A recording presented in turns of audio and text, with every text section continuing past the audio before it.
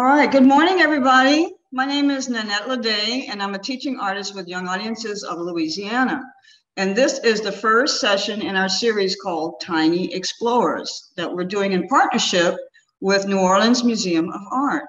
So we'll be looking at some art and learning about counting today. So the name of the lesson is called One, Two, Three, Count with Me. So let's take a look first at this at this painting that we're going to be talking about. It's by an artist named Torkwase Dyson. And she's very influenced by water.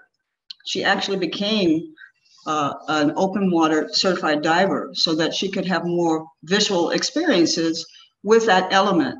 And these paintings that you're looking at are a series that of 15 panels that were commissioned and exhibited last year at NOMA in 2020.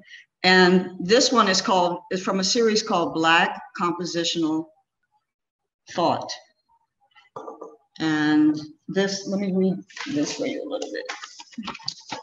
She says that that term considers how waterways, geographies, and other spatial relations are inhabited by Black bodies. So we're looking at this here. I see a lot of different shades of black and blue. She's also influenced by architecture and, uh, and the infrastructure of the oil and gas industry and physical impact of global warming. So her work is very relevant to the, what's happening in the world today. So when we're looking at this painting, there's a very strong diagonal lines going on in it, and she also uses a lot of different textures. So uh, as I was researching her, I was very interested to learn about her, her process. And she does a lot of large scale work. This one has a very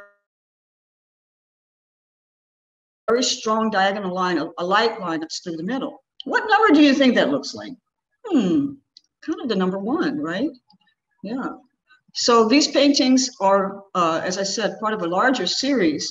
And she speaks very eloquently about her work. If you look at any of her videos, she is always in dialogue with somebody, with other artists about the impact of Black genius on the art world today. So let's go on and talk about counting. Okay, so our lesson is about ba basing foundational math skills for your young child. Okay, so depending on where they are, one of the hardest things for them to get a concept of in the beginning is quantity. So they may just count numbers if they like the sound of them, out of order, but the idea of quantity is something that you can reinforce through everyday activities, like counting your steps that you take from the house to the car or when you're taking a walk. You could also do it by counting toys at bath time, like my rubber duckies. That's a lot of fun. But one of the best ways and the most fun ways that you can use your counting skills is when you're cooking in the kitchen. So if you look on your card, in the back of the card, there's a song called Come Into My Kitchen. So it goes like this. It's a chant, so we're going to use our steady beat. Come into my kitchen, everything is good. You can be waiting, and everything looks great. Come into my kitchen, you can smell the food. Everybody's waiting, and everything is good. Come into my kitchen, you can smell the food. Everybody's waiting, and everything is good. Come into my kitchen, you can smell the food. Everybody's waiting, and everything is good. Yeah, so one of the things that we do when we're cooking is use our ingredients. I have a really nice book that I want to share with you here. It's called Today is Monday in Louisiana. It's by my friend Johnette Downing. And it talks about how traditionally on the days of the week, we eat different types of food. So if you're cooking something like beans and rice, you have to measure the rice. So you can talk about measurement as a way of enforcing the idea of quantity. You can also count the ingredients. So I'm going to show you some things I have here. If you have a really small child, you don't want to use props that are too small because they might go into their mouths, right? So these are pretty small, so they're good for children that are a little older. So I have here some carrots, one bunch of carrots, but there are one, two, three carrots in the bunch. I have some garlic, so I have one pod of garlic.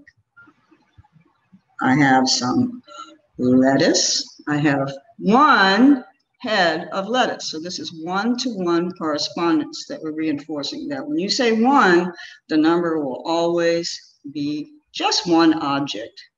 So that's a very basic way of understanding quantity. And of course, we need to have some tomatoes. Always use your tomatoes. Or you might want to add some mushrooms. I love mushrooms. This looks like a portobello mushroom, doesn't it? Okay. You can also use something a little bit bigger, like my red apple here. The child is very young. This is really good to use something a little bit larger so that it's not dangerous. And of course, no meal is complete without desserts. So some healthy desserts are things like bananas, one yellow banana. Or a nice slice of watermelon. Watermelon is so good for you and so refreshing in the summer, isn't it? Or you could try some apple. This is a, green, a Granny Smith apple. This is good for making apple pie. I think this is the best one. Or kiwi. I love kiwis. They're so good.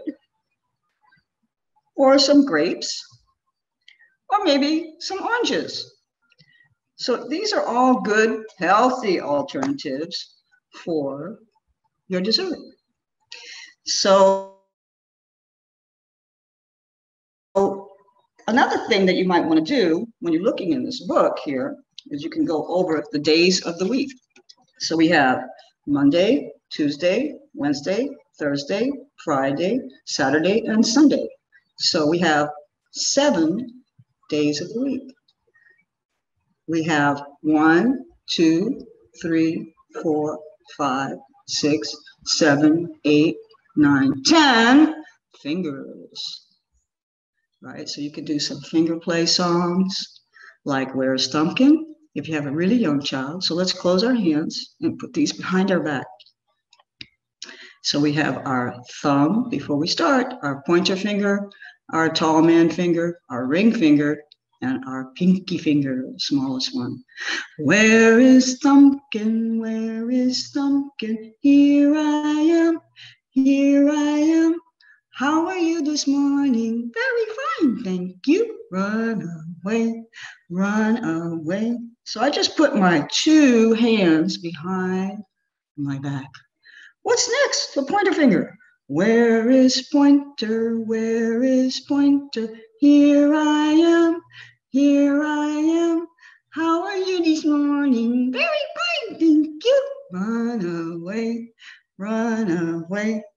So tall man has a very deep voice because tall people sometimes have deep voices.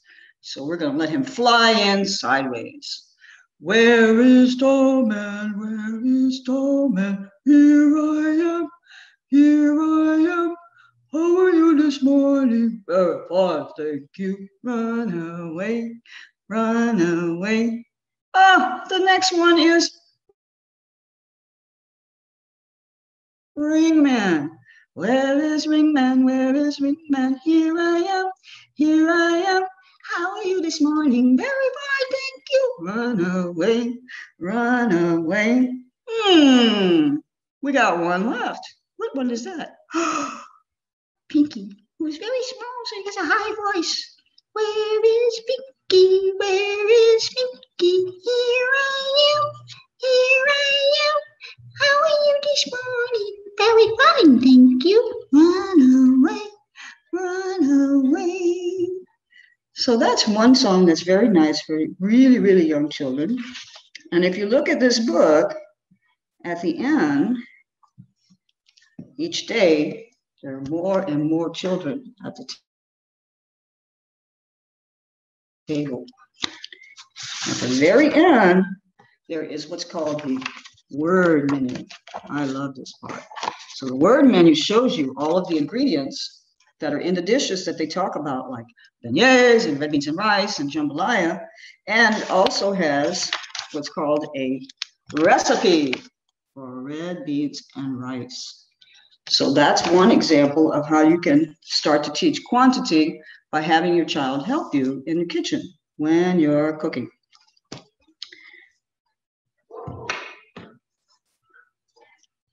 So I have showed you the bath toys.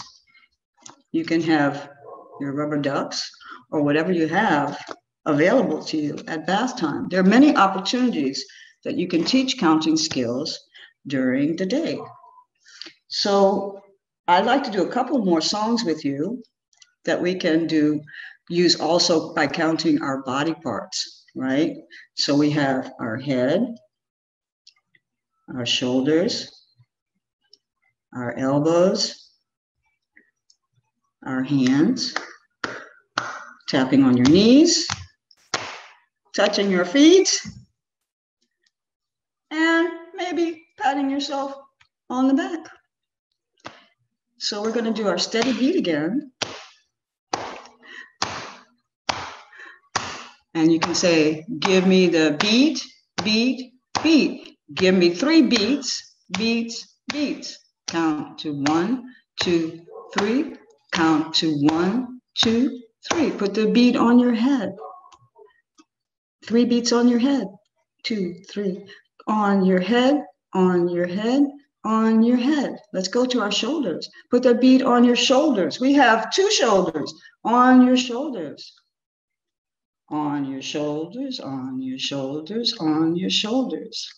Put the beat on your elbows. We have two elbows because we have two arms. On your elbows, on your elbows, on your elbows. Clap your hands. Clap your hands.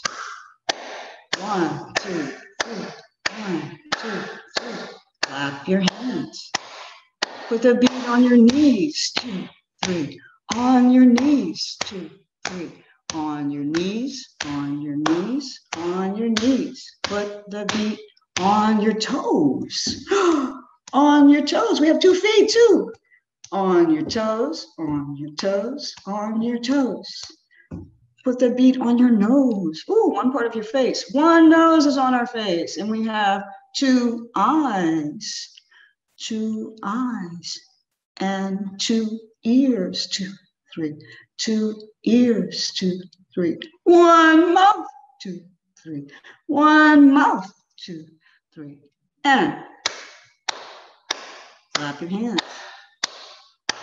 Give me the beat, beat, beat. Give me the one, two, three. Give me the beat, give me the beat, give me the beat, two, three. So that's another way that you can not only count, but go over the body parts.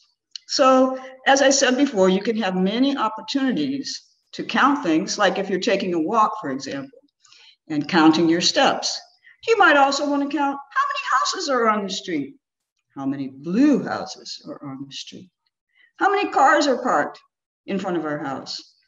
Any number of things like that. Everyday activities are a great way to reinforce this concept of quantity. And speaking of quantity, I have a couple of songs that I like to do for you with my ukulele. I love the Rubber Ducky song. So I'm going to play that for you right now. And if you know it, you can sing along at home too.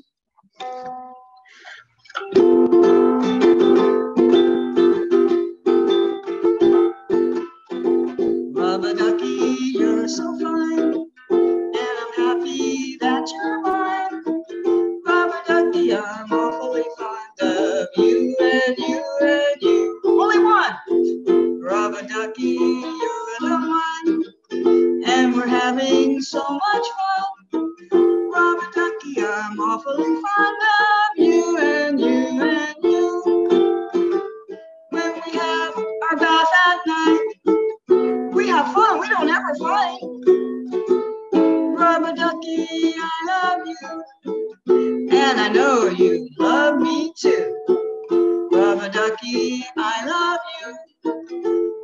Know you love me too.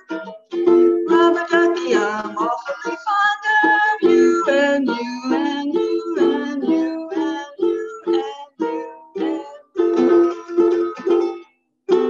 So we're talking about one ducky at a time, right? So that's a really good one. That's a standard. And I just noticed that the clouds are finally going away. So why don't we do the song that I really love, that I always like to play.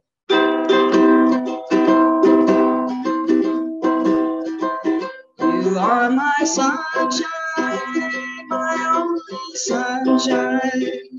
You make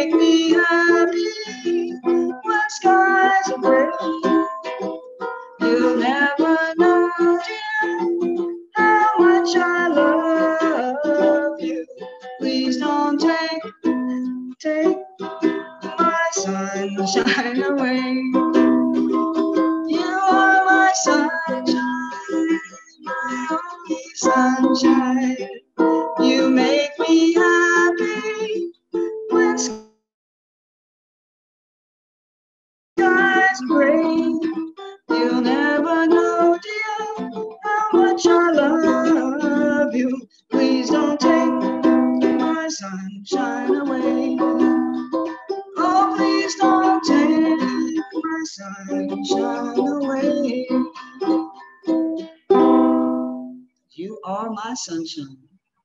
All right, friends. Well, I sure had fun seeing you again today.